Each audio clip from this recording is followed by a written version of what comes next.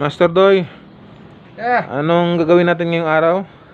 Ah, sa ngayon, parang ah, iba na yung panahon. Dito na yung mga hinihintay ng mga ah, off-road rider natin. WR 450. Ito na. F 250F. Saka yung mga iba pa dyan. Mga YZ125X. YZ125. Okay. Sarap yan. Woo! And we also have uh, Darwin here.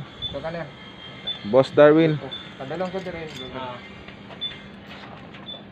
Kaway-kaway naman Sir Darwin. Okay.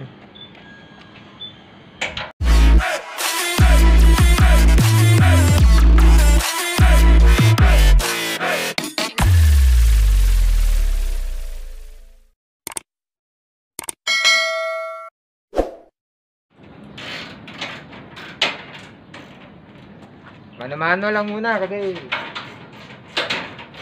COVID pa eh. Mga off-road lover dyan. Dito na.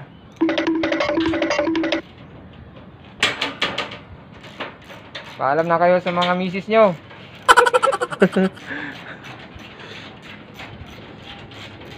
Sabihin nyo lang tag ano, tag 100,000 yung motor no. 150 lang. ah. Ah, 150 100 uh, 150,000. 150. 150 lang.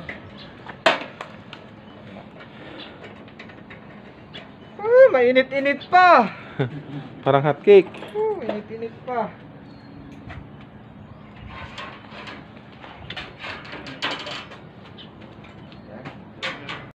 Alright. So, magandang araw no. Mga kumare kumpare ko dyan. On two wheels. And we're back again. We are back again. So we now have we now have here Yamaha's uh, dirt bike lineup. No? This one is the WR 450F. Wow. Guys, WR 450F. Oh my god. This one is the YZ125X. Wow. Two stroke siya no? So we are lucky enough to be, be able to see these wonderful machines. Gaganda. Huh?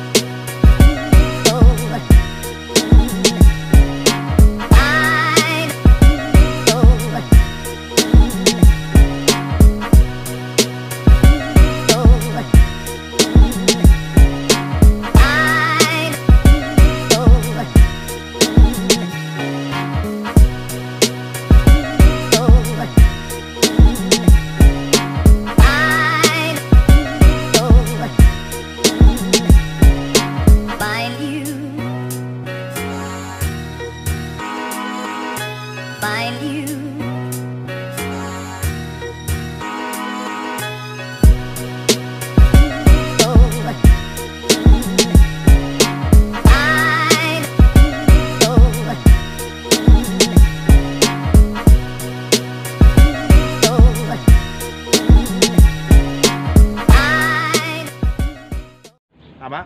The first. Yes, the first customer. The first WR450 in Davao City. Mhm. Sino yon? Hindi pwede. Secret. We cannot reveal the, the name. Well, Basta. may-ari nito. As you can see, ayan. Ganda ng details, oh. Yan, later on, papakinggan natin yung tunog ng motor. Okay. I'm pretty sure si Doc Rovic excited na excited na. Motorride culture. Doc Rovic. Yes. Nato susi. Ito na yung WR450F, no?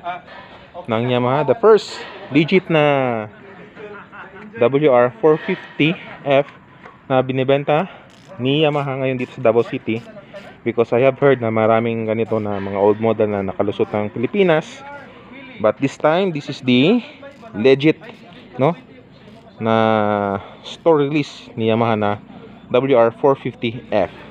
So guys, papakinggan natin yung tunog ng makina, no? So this is it.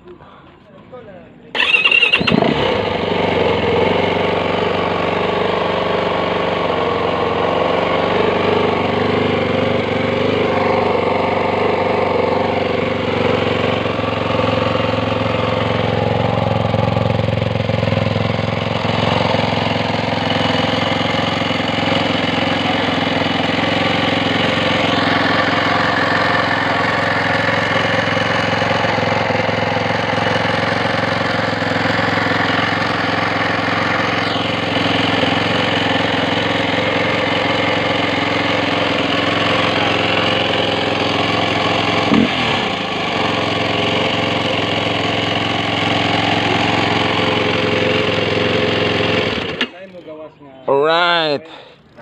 So that's it guys, no? And this is the WR450F. Oh, sa- And Alright. Oh yeah.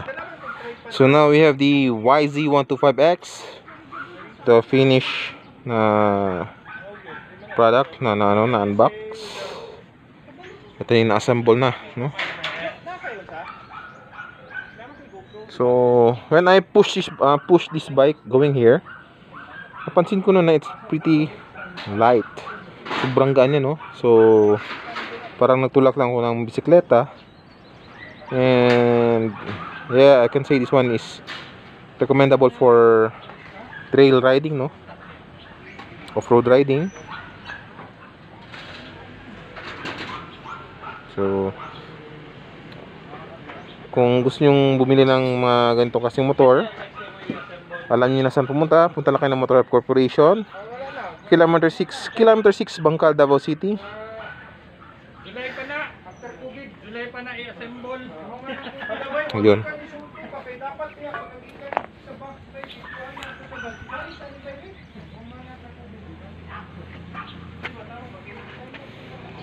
Mm.